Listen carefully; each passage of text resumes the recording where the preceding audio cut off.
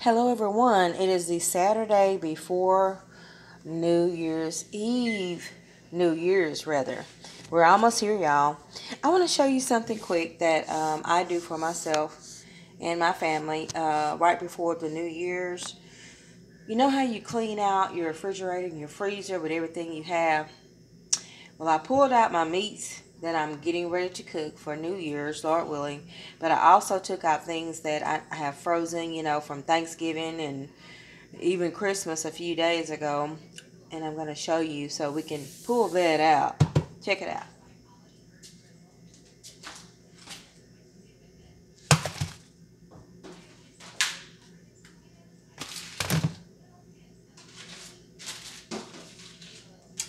Now these are the foods that I'm going to be cooking for New Year's Day, Lord willing. I'm going to be cooking some uh, fried chicken, and these are thighs. I'm going to be using the smoked hog maw to cook my greens and some of the pot liquor to uh, cook my cabbages. Smoked, uh, let me get it right, smoked turkey necks Okay. Mm, mm, mm. And then I'm, I'm going to be making some uh, pig feet. I also had bought some chitterlings or chitlins as we say.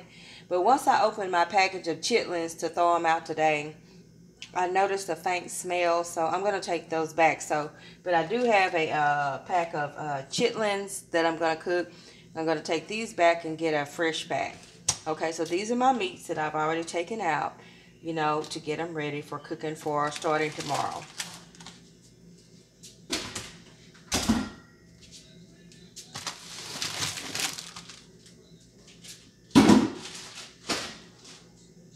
Any of my meats that I need to brine or seasoning season, I'll go ahead and do those later this afternoon because this is early on Saturday. So, like I said, uh, the my chitlins that I took out and they didn't smell too good to me.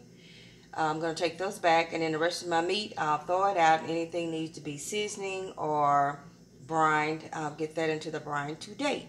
Now I'm going to show you my leftovers.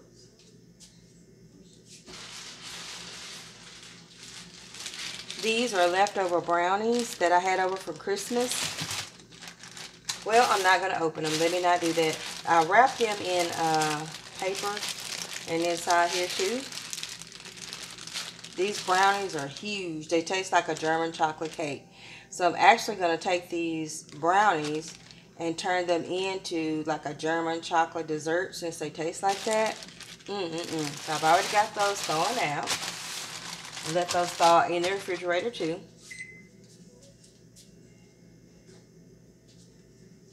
Got a tiny container of macaroni and cheese, but there's something special I'm going to do with that. I'll show you a video later.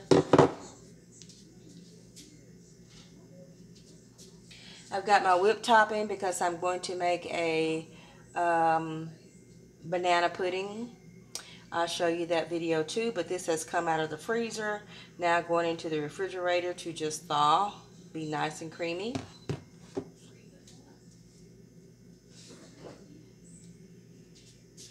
I'm going to cook a fresh cabbage, which I already have prepared uh, right now. But also I have some um, turnip greens left over. So I'm going to cook those fresh cabbages that I have prepared in my vegetable tray. But I love greens and want some more greens too. And that's supposed to be for your money on New Year's. So I'm going to cook my fresh greens. I mean, I'm sorry, cook my fresh cabbages. And then add these greens that I have frozen from Thanksgiving with it.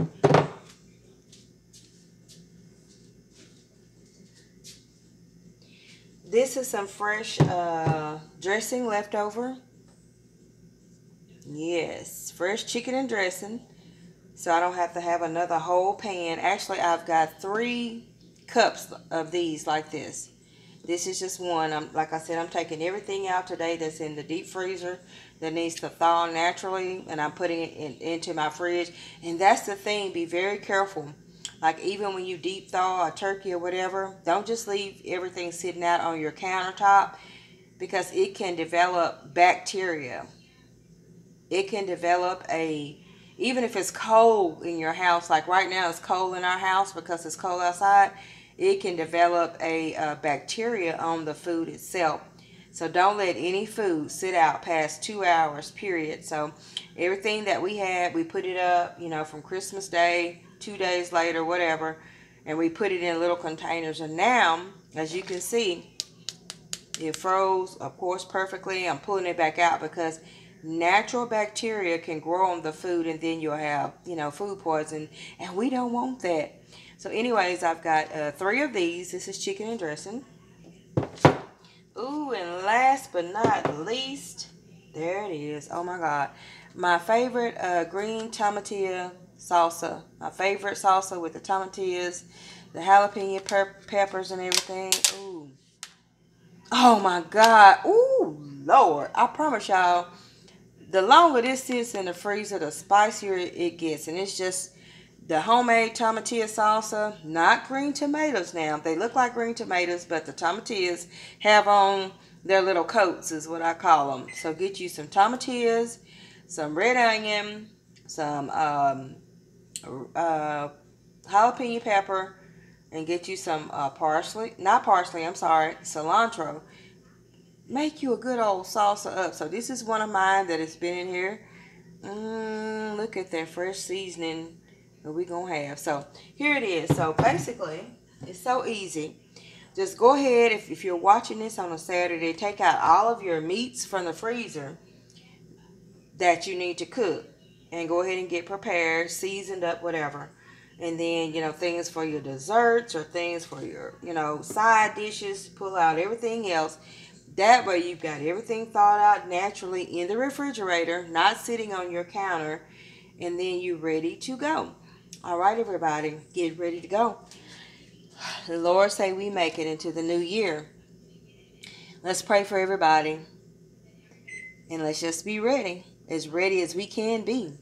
Because we're natural and God is a supernatural. So let's just thank the Lord now for what He has already done for us, bringing us up to this day on Saturday before New Year's. Because God has kept us, y'all, He's kept us from seen and unseen. He has kept us from seen and unseen. He's such a mighty God. I have to say that continuously, and I will. God is a good God. All right, be prepared. Not only be prepared, you know, making your dinner and stuff, but be prepared for the Lord's coming. God is so good. All right, I love you, everybody, and hope you have a wonderful, and wonderful, and upcoming blessed holiday.